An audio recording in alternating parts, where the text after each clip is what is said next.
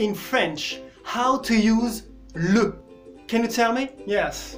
I'm going to tell you now. Hi, American and English people. I'm Thomas from the Fast French Learning blog, the blog to learn and improve French. First, if you want to receive the two free ebooks so you won't make the two most common mistakes in French, these are not using the correct prepositions and not using the correct masculine and feminine nouns when you are talking to someone.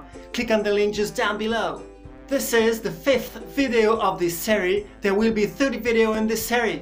C'est parti Le est un article défini. Un article défini fait référence à une personne, à un animal ou à une chose en particulier. Une personne, un animal ou une chose précise. L'article défini se place devant un nom.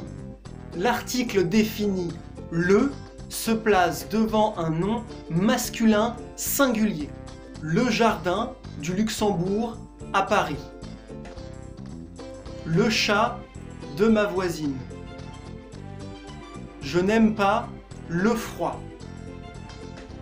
Je suis monté sur le cheval de mes amis. Thank you for watching this video. If you want to receive the notification for the next video, please subscribe to the channel. The link is just down below. Bye!